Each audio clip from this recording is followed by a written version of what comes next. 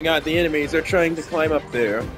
They're trying to literally team up to kill me, and they're getting shockingly close. You know what?